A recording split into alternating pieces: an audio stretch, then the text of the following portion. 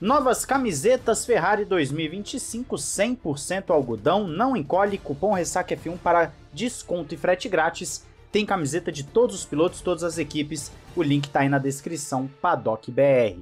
Olá amigo do Ressaca Fórmula 1, seja bem-vindo a mais um vídeo, eu sou Matheus Pucci e tivemos Fórmula 2 com Sprint Race, Fórmula 1 com Qualifying, vamos começar então com a Fórmula 2. Isso porque o brasileiro Bortoleto conseguiu um ótimo resultado, fez uma bela corrida, principalmente no finalzinho, conquistando um sexto lugar depois de estar ali em décimo e escalou bem, aproveitou a estratégia dos pneus duros para no final dar um show, fazendo ultrapassagem atrás de ultrapassagem e com isso já dando uma bela carteirada nessa sua primeira participação na Fórmula 2, lembrando que na corrida principal ele sai na pole position.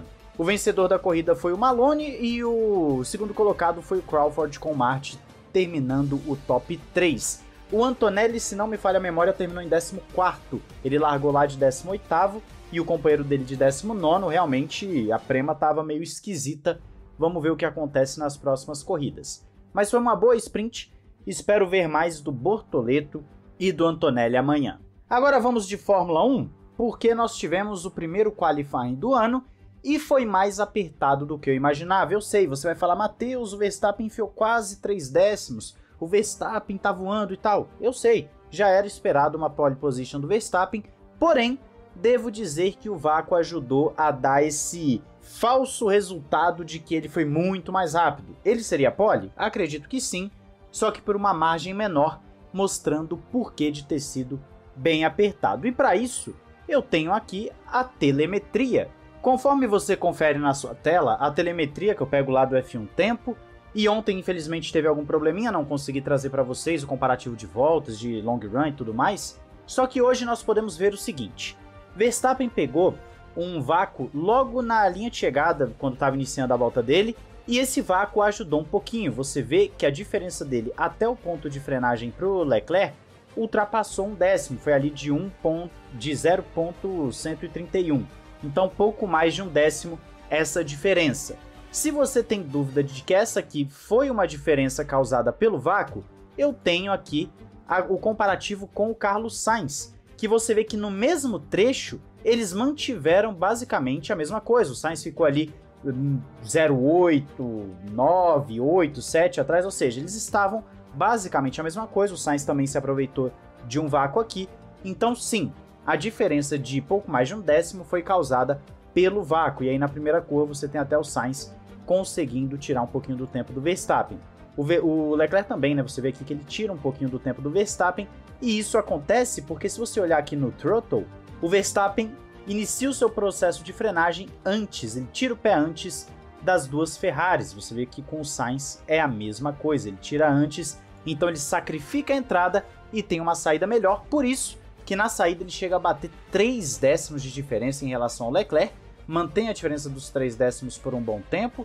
Você vê que na segunda zona de DRS vai mantendo a diferença, sobe um pouquinho, desce tal, por quê?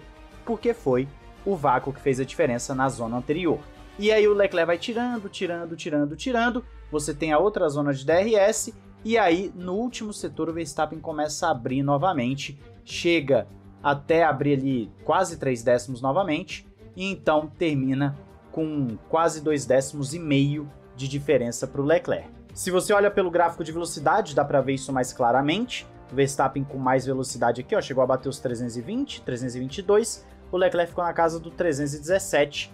Então essa é a diferença, basicamente 318, né, chegou a bater. Essa é a diferença, apenas 4 km de diferença, só que aqui é que está o detalhe, ó. Chegou a bater 8 em determinado momento aqui, quilômetros de diferença. Isso faz muita diferença no tempo em si, por isso que o Verstappen conseguiu aquela vantagem. O Verstappen perderia a pole position se não fosse o vácuo? Não, gente, ele não perderia. A diferença seria menor, seria aí um décimo, um décimo e pouco menor. O que reitera aquilo que falei já na, nas redes sociais.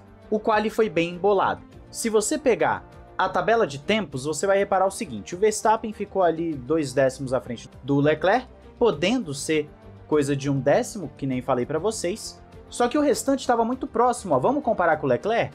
O Russell ficou a menos de um décimo, o Sainz ficou a um décimo, o Pérez a um pouquinho mais de um décimo, o Alonso um pouquinho mais de um décimo, Norris já está indo para casa dos dois décimos, aí você tem um Piastre que está no dois décimos e alguma coisa, o Hamilton já está indo para casa dos três décimos, então do segundo para o nono colocado foram três décimos de diferença.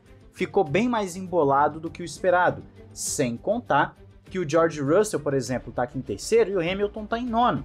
Você tem as duas McLarens em sétimo e oitavo, você tem o Pérez saindo de quinto, então você tem um grid embolado que mostra que sim, a princípio em qualifying, baseado nesse primeiro que nós tivemos, a Fórmula 1 pode ter sessões bem interessantes, bem legais. Ritmo de corrida é outra história. A gente vai ter que esperar para ver amanhã, porque é bem provável que a Red Bull esteja à frente, só que com o Pérez saindo de quinto, isso acaba dando um tempero a mais. Ele vai ter que ultrapassar ali pelo menos três carros para poder chegar no Verstappen.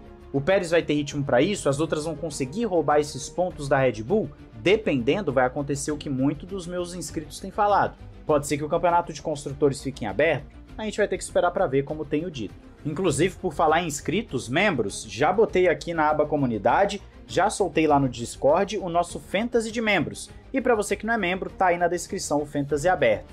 Entre também no Discord, porque você que é membro, quando entrar no Discord e fizer o procedimento lá, vai poder entrar no Discord dos membros que a gente conversa durante as sessões. Estávamos conversando hoje, inclusive, no quadro. Então, quem que acabou surpreendendo negativamente? A Alpine. A Alpine ficou em último e penúltimo. Eu esperava eles mal, mas não piores do que a Haas, por exemplo. A Haas até conseguiu um tempo legal, né? Conseguiu décimo lugar com o Huckenberg e um décimo quinto com o Magnussen. A Williams ficou onde eu já esperava, o álbum em 13º e o Sargent em 18º. A Kick Sauber, mesma coisa, já ficou ali mais ou menos onde eu esperava. E a AlphaTauri, RB, Visa, Cash App, enfim, também ficou mais ou menos onde eu já estava esperando pela pré-temporada.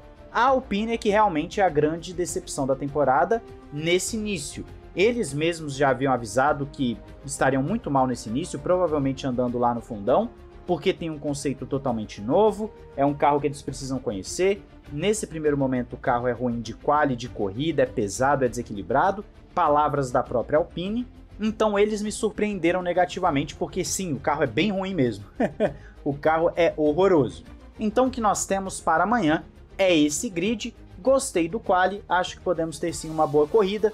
Acho que a Mercedes pode dar uma recuperada de terreno ali com o Hamilton. As McLarens e a Aston do Alonso também pode ser que dê uma recuperada de terreno. E a Red Bull do Pérez, obviamente, a gente espera que vá para a segunda posição, mas se não conseguir, significa que teremos uma boa disputa pelos construtores. Eu quero saber a sua opinião aí nos comentários sobre esse qualifying. Não esqueça de se inscrever e ativar o sininho para não perder nada. E claro, tem a Instant Gaming para você que quer jogos e gift cards com os melhores preços. Entra pelo nosso link, eu agradeço. E também produtos na Amazon, tem um link geral também para você comprar coisas aleatórias. Entrando pelo nosso link, eu agradeço demais. Um grande abraço, valeu e falou!